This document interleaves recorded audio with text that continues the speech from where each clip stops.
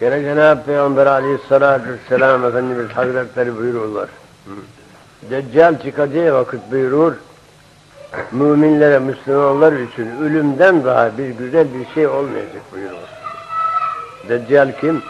Bu Deccal'i bütün peygamberler ümmetlerini korkuttular. Aman böyle bir Deccal var çıkacak sakın buna inanmayın bilin.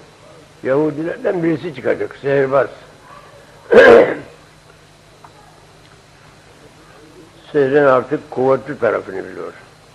Ben Allah'ım diyecekler. Hem de bir gözü kör. Bir gözü de cam gibi fırlamış dışarı çıkmış. Allah'ın en çirkin mahluku hınzır. Saçları ondan sonra bakarsın lif gibi.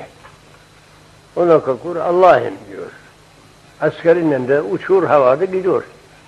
Kullarım bana gelin, bana gelin. Sizi yaratan benim, rızkınızı veren benim, kafir böyle bağırır.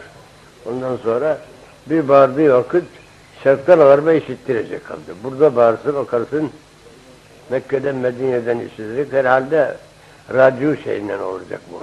Radyonun kuvvetinden. Sonra nihayet kursa dayanacak. Hazreti İsa gebertecek kafir orada. Diller ki 12 bin erkekle 7 bin kadından başka bütün Müslümanların hepsini kandıracak. İnanacaklar buyuruyor. Dağ başına giden şerrinden kurtulacak. Sure-i Kehf'ten 10 ayet okursa insan evvelinden nihayetinden o da kurtulur. Başkaları hep aldanacaklar bu melun kafire.